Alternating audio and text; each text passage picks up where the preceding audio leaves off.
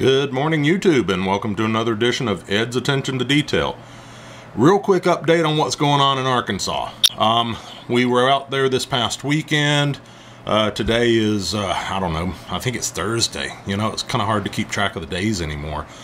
But anyway, we were out there um, this past weekend, Sunday, Monday, Tuesday, and we got a little bit of work done. We got the rest of the dirt moved over for the foundation of the house and also moved a uh, an apple tree. Uh, there are four trees that have been planted out there. I've got three apple trees and a peach tree.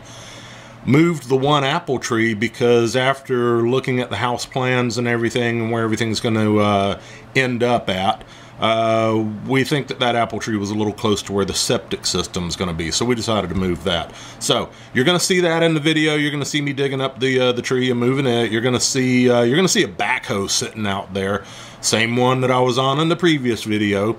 The thing died on me this time, right out in the middle of the field, just shut off and wouldn't restart. So we had to actually go get another battery for it and everything, and uh, you know it's always something.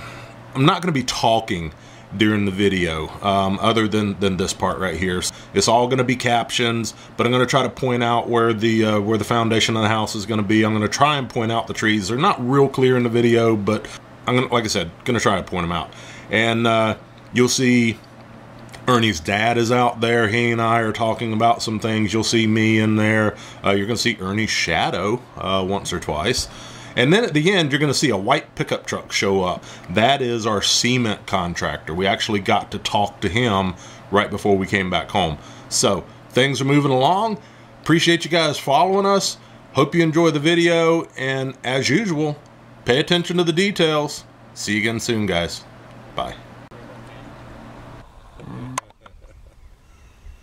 yeah, we're going to go move an apple tree. I feel like Donnie Appleseed now.